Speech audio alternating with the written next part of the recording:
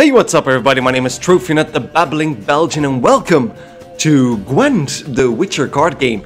Um, it's been a while since I did anything Witcher related, and I'm still working on something in The Witcher 3, but uh, in the meantime, I've been hesitating to make a few videos in Gwent, because I really like the game.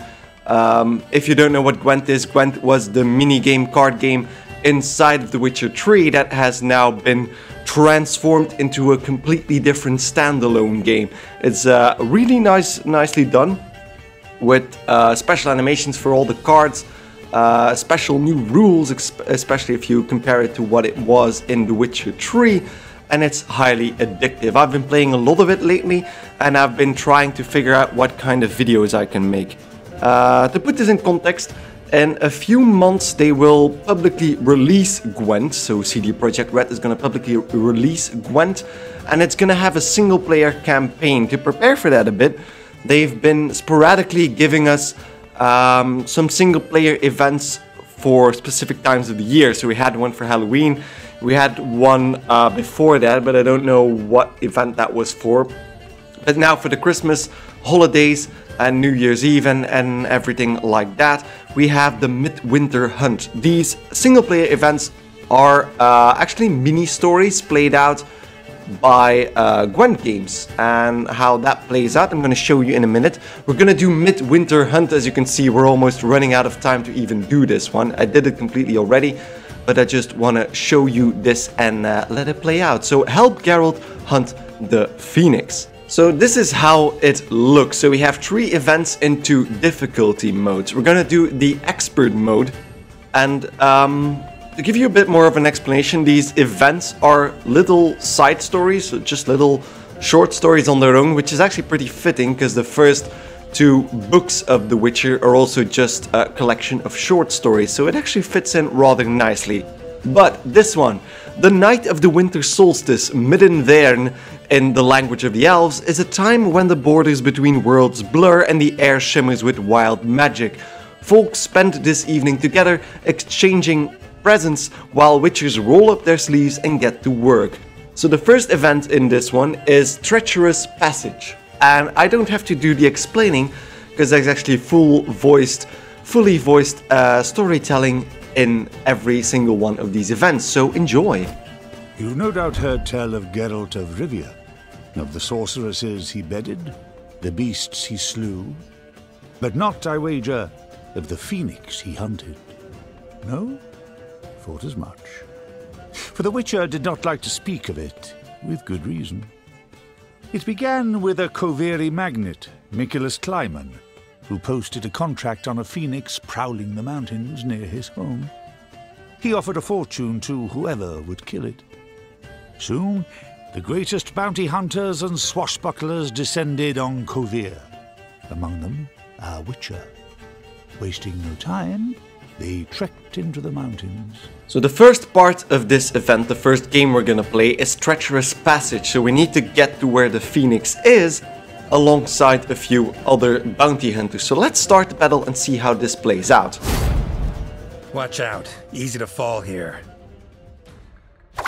So, as I said, there are uh, fully voiced lines by the original voice, voice actors here, which means that um, everything will also play out as you would expect in the normal game. There are no timers, I think, uh, in single player, so I have a bit of time to uh, explain all this. So we have Jotun, King of Giants, as our uh, adversary, and as we check out his card, uh, he moves three enemies to the opposite row and deals 2 damage to them. If that row is under frost, deal 3 damage instead. I'll do a basic explanation of what Gwent is about. The basic premise is that there are three rounds, but this is not going to be happening in the single player events. But the idea is simple. You have to end the round with more points than your opponent. So right now, the uh, Jotun King of Giants has 24 points and we have 0. Um, each row, uh, each side of the board has 3 rows which you can put units on. And uh, right now our two top rows are under frost, which means the lowest unit on those rows will every time get uh, damaged. So we need to be smart about this. We have a few cards. Our bottom row is a precipice, so if any of our units get pulled into that, they're immediately destroyed. For what we have in our hand, we have Geralt Igni, which allows us to destroy the highest units on an enemy row if that row has a total of 25 or more, which we're gonna use pretty quickly because uh, there's one row with 24 on it, and that's gonna improve in a second. So, as a start, we have two swordsmen, uh, great swordsmen, uh, who reset themselves every turn if they're damaged and strengthen themselves by two. So you would think that those would be a nice start. But uh, we'll see what else we have. We have Swallow, which boosts the unit by 10. And then we have uh, two Clan Archers, which uh, can deal 1 damage to 3 units each. And then Djenge Frett, which is the bounty hunter, the leader of the bounty hunters we're uh, following right now. So it's actually fitting in the story. So we can destroy up to 3 damaged units. So we're gonna keep the damage uh, later on. And Djenge Frett as well later on. So we're gonna have to start with a Clan Greatsword. I'm gonna put them as high as we can. I once lopped off three Because if they uh, get blow. pushed up one row, if we're on the middle row, we're gonna die.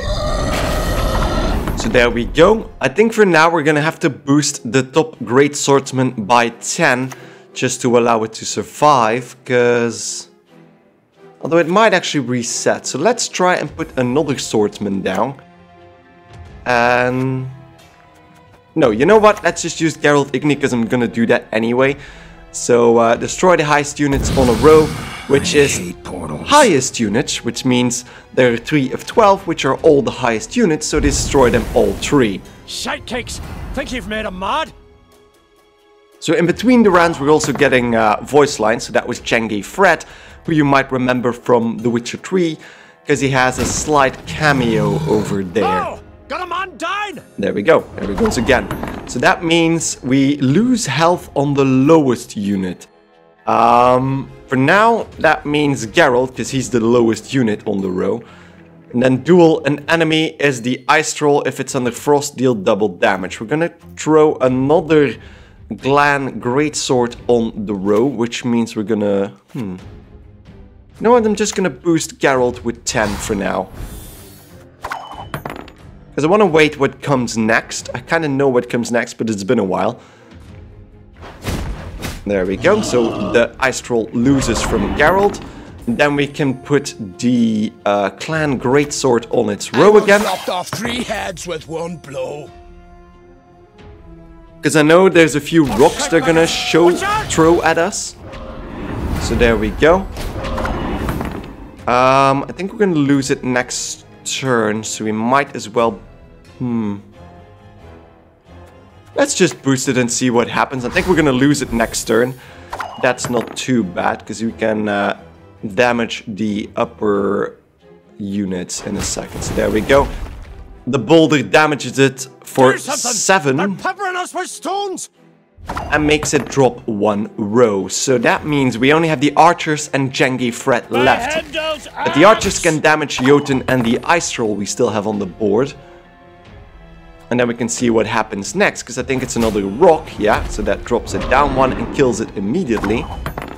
And then we have another archer damaging the units. And I think the last one should also be a rook. Yeah, there we go. So that just kills it, leaving us with Djenge Frett, which is who is gonna save the day by destroying three damaged units. In this case, two. Not far now. Stay close. I don't trust witchcraft, but I'm glad you're on our side. So there we go. Won the round and the first game is over. We won from uh, Jotun King of Giants. So next up in this uh, storyline is we need to, well, reach the uh, Phoenix. So next up we're gonna actually fight the Phoenix itself. So fire and ice. The Phoenix was not the sole beast to dwell in those mountains, but Geralt did not bear his silver sword for show. With the other bounty hunters' help, he slew a host of icy creatures. Then the expedition moved off towards the snowbound peaks. The Phoenix evaded them for long, yet in the end, cornered, it spread its wings and attacked. So there we go, the Phoenix is in our reach, but it now has attacked. And uh, we're gonna have to deal with that beast. So let's start the battle. Follow me. but nobody plays the hero. Got it? Come on! Chop the chicken! Chop the chicken, because yeah, the phoenix is a bird, of course, but a fiery bird at that. So in normal mode, it's already pretty easy to take down the uh, phoenix, but we have a bit of a difference here. We have different cards than we would otherwise, um, and the phoenix has a lot more armor than it should have.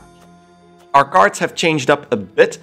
Uh, we have Djenge Frett as our leader now, we, who can still destroy damaged enemies, but before we can damage the uh, Phoenix, we need to get through its armor. We have Biting Frost, which we've seen an effect in the previous round, then Decoy, who, uh, which we can use to replay uh, a card. Then we have two Resurrectors, the Priestesses of Freya, don't know how they got up the mountain, but they are here. And then three Marauders who can deal 4 damage, but if they're resurrected, they can deal 6 damage. The Phoenix does not have any attacks, so we just need to play our cards in the right order. Which we're gonna start, of course, with Biting Frost, right over there. So Frost takes down 2 damage, well, deals 2 damage every round, so that's gonna be a nice setup to start with. Then, it's a bit weird, but the way that this, this is set up is that we need to discard our Marauders. We can actually select a card since the update and then discard it instead of play it, which is what we're gonna do. There we go. So that means it's discarded. We're gonna do that again, which is really weird because we're just tossing away units. But then we're gonna play one of the Marauders, dealing damage, dealing 4 damage. Speak to him. The frost is still ticking down, so we're at 16 armor now. Let's resurrect one of the Bow marauders, before modern Freya. which means we now deal 6 damage. God, speak to him. There we go. We can resurrect another one, We serve her. dealing another 6 damage. And because this isn't even on expert, this is pretty doable. So now we only need to decoy one card. And now we're actually gonna do uh, more damage than Let us put our expected. steel to the test. Because we're gonna even damage it completely. I think we even win this round just by damage alone. Because we can, even if we just play Djenge Frett without destroying the Phoenix, we have 36 versus the 34. So it's actually pretty easy to just play this on uh, Expert. Haven't got. But there goes the We're gonna Phoenix. make a fortune. And there we go. That's one big bird. Wench really need that many feathers for a dress? Wait. Wanna kill it for feathers so somebody can make a dress? So there we go. The little plot twist in this quest is that they don't want to kill it because it's, uh, well, damaging property or killing people. They want to kill it because the feathers, uh, well, the the daughter of the uh, the man we're doing this for wants to make a dress out of phoenix feathers. So Geralt is um, not so pleased with that because he's just there to kill monsters that are harming people. If you've read the books or played any of the games, we know Geralt often takes the sides of monsters that are sentient, are not harming anybody, so unexpected ally. Geralt learned the Phoenix had not done anyone any harm. No. Nicholas Kleiman had posted the notice for an altogether trivial reason. He wished to present his wife with a dress adorned with the beast's feathers for Midinváerne.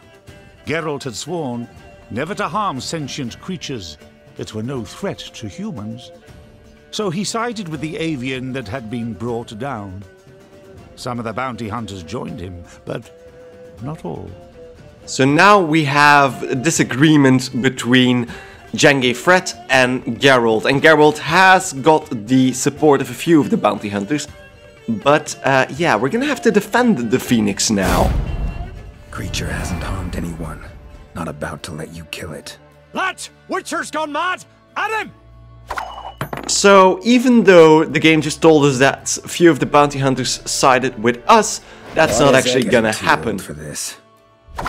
So, uh, a bit different. We have a special Geralt card in our, uh, well, pouch right now.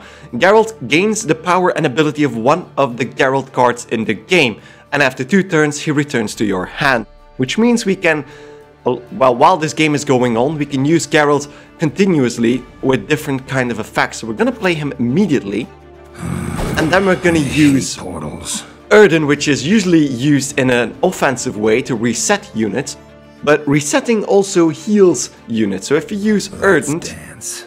Think you can take us all, freak? I think we can. So we lose health, but we can actually use Yrden to reset the health of the Phoenix. I promise you a quick deal. So Djenge Frett in here is still a very real threat, because if the Phoenix dies, we lose the match.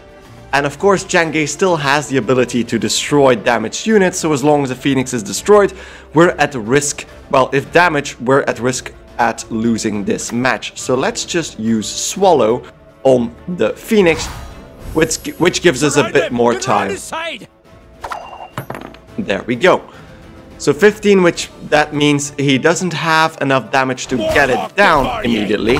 So now we can use Geralt to actually perform a different get task. this over with. So deal 3 damage to 3 enemies and move them to the row above, which would be really handy, isn't it?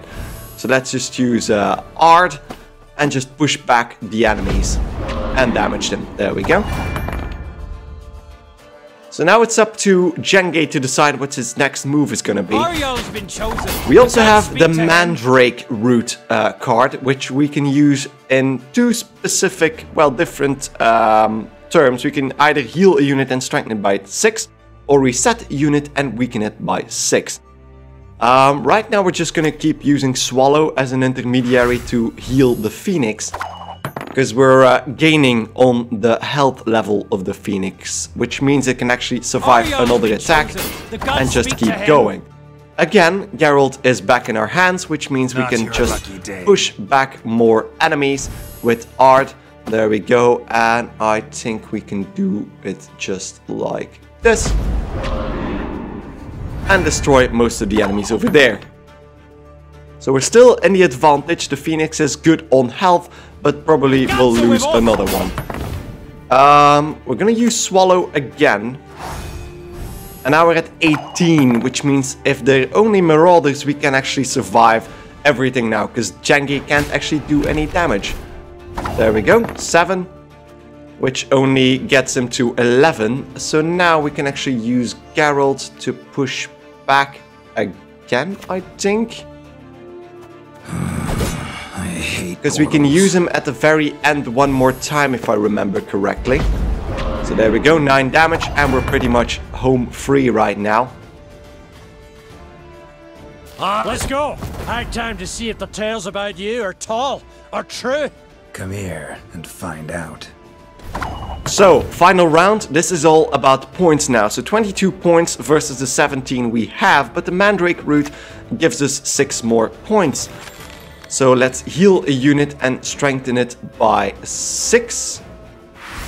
There we go. So now we're already above it, but we get Geralt back. And Geralt has his uh, default form, which is actually just day. 15 points, which wins us the match easily. Don't come back. Ever. So yeah, there's a few ways of completing this, but that finishes the storyline. We defeated Djenge and his remaining bounty hunters and uh, defended the Phoenix from harm. Geralt held his own and saved the phoenix from a most undeserved death. The bird bowed its head in a gesture of gratitude, then flew off into the wild blue yonder. As the Witcher left Kovir, he pledged to read his contracts more carefully in the future. And Nicholas Kleiman?